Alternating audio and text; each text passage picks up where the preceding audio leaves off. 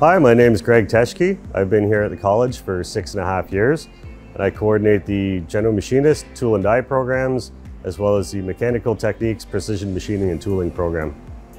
Our programs are all common over the first two semesters, so they all cover the same material with uh, manual machining, grinding, lathe work, milling, uh, drill presses, saws, all the, the basic tools.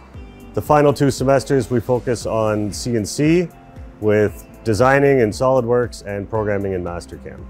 The Tool and Die and General Machinist program have an additional uh, optional co-op portion to it, which is great.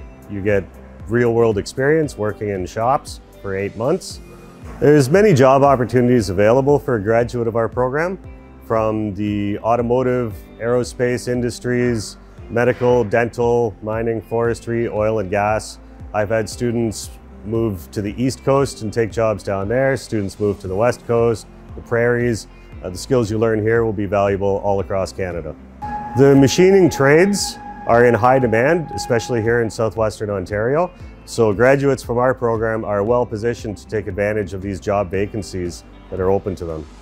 At Conestoga, we've got a very multicultural attitude. Uh, we enjoy having students come from all around the world and it's a perfect place for students to come share their experiences with other students and their professors.